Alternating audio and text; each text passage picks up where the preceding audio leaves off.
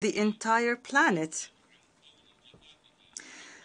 Having these marshes dry out would be a biological, uh, ecological, and historic loss to all living beings on this planet. Uh, there would be a loss of a human heritage and a chapter in the book of humanity and its civilization. Iraq witnessed the first international treaty, and this treaty was on water, and it was signed 2,550 years ago.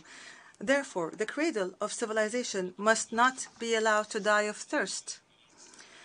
This environmental disaster will have a harsher impact on Iraq and the region due to the unprecedented increase in temperatures, which turns every aspect of daily life into an almost impossible task. Therefore, Iraq is working on and calling for exerting more efforts between the relevant regional states so that we could work together and we could find an effective coordination mechanism so that we could form a negotiating bloc within the Climate Convention. We call for establishing an integrated mechanism to manage cross-border water resources and to address the effects of droughts and sandstorms and heat waves. We stress the need to mobilize international efforts to guarantee the, the sustainability of water resources. Here, we call for establishing a regional grouping that would be comprised of the coastal states of the Gulf, including Iraq and Iran and the member states of the Gulf Cooperation Council, because these are the states that will be disproportionately subject to the temperature rise. This grouping would be tasked with coordinating regional efforts uh, to manage water resources and address uh, climate change and bolster environmental protection and work together in leading action to confront the drought. Our government at the national level has taken the necessary measures uh, to lessen emissions uh, and stop gas flaring and the environmental pollution it causes. We have also launched several projects in terms of waste recycling and encouraging the use of clean energy. Our government has endorsed and ratified a national strategy to combat pollution and its impacts for the years 2023 to 2030. Iraq believes that addressing these challenges requires establishing institutions that are able to deal economic challenges and, more specifically, climate challenges. Your Excellencies, despite the cross-border challenges that we face, as they face all of humanity, we seek to confront them effectively and within our national capabilities by cooperating with our partners and friends. And the most important of these challenges is the challenge of drugs. Drugs hinder all efforts to establish development and invest in human resources and the development of youth. Therefore, our government has adopted a national strategy to combat drugs and psychotropics for the years 2023 to 2025.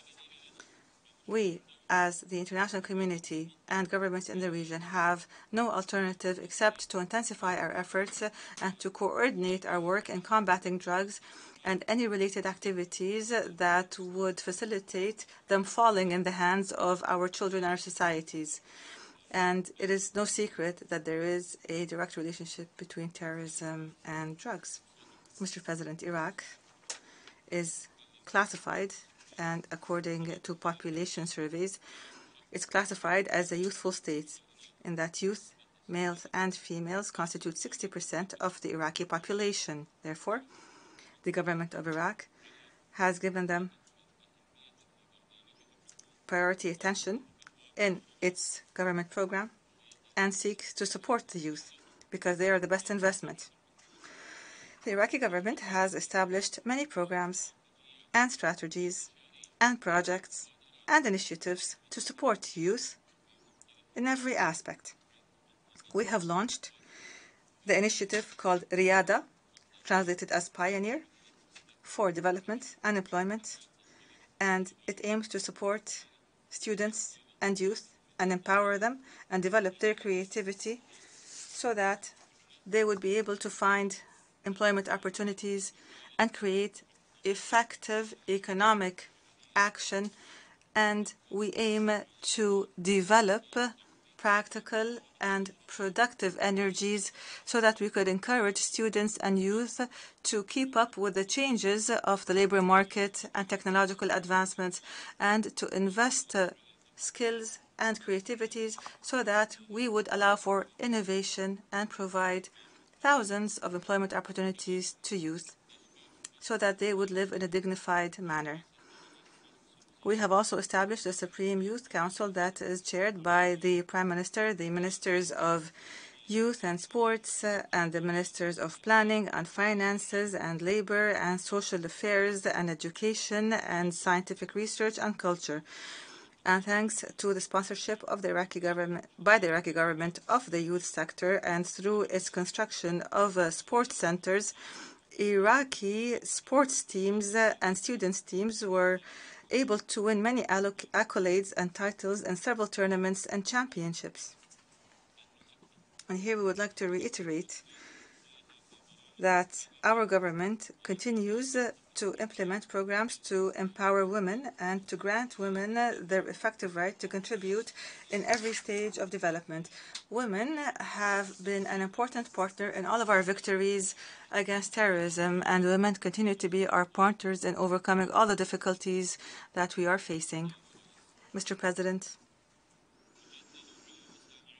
we say to the world that we have a firm stand on the Palestinian right to establish an independent Palestinian state with Jerusalem as its capital.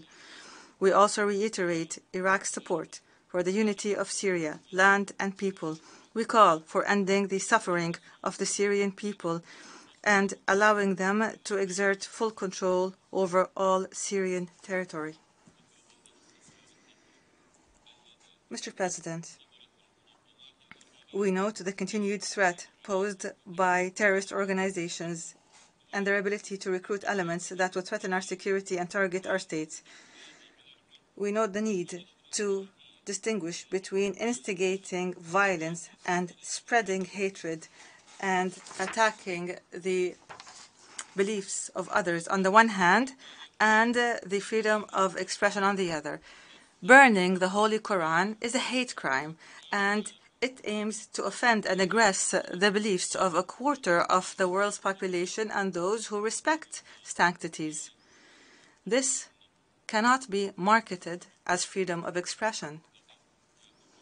We in Iraq know the bitter taste of religious extremism, and we know the effects of this extremism. And such actions are the main ingredients towards creating such extremism and encouraging it, and terrorist Daesh is the best example of this. In closing, time has come for Iraq to regain its natural place in the international community after its glorious success in combating terrorism on behalf of the world. And the defeat that we have established with the help of friends and partners we defeated this terrorism. The people of Iraq have registered and have made immortal epics in battling the most vicious of crimes. And here we would like to note the wise guidance of Grand Ayatollah Ali as-Sistani and his blessed edicts. And we note the valor of all the security and military forces of Iraq in these victories and in their efforts to establish the basis of social peace.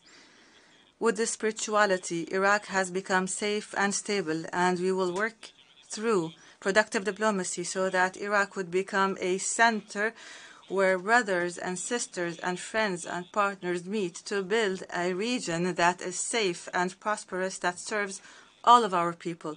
Iraq now enjoys the strength of its resources and its geographic location and the will of its people who confront challenges and who has emerged victorious, as always. I thank you for your kind attention. Peace and God's blessings be upon you. On behalf of the General Assembly, I wish to thank the Prime Minister of the Republic of Iraq for the statement just made. The Assembly will hear now an address by His Excellency Gaston Alphonse Brown, Prime Minister and Minister for Finance, Corporate Governance and Public-Private Partnerships of Antigua and Barbuda. I request protocol to escort His Excellency.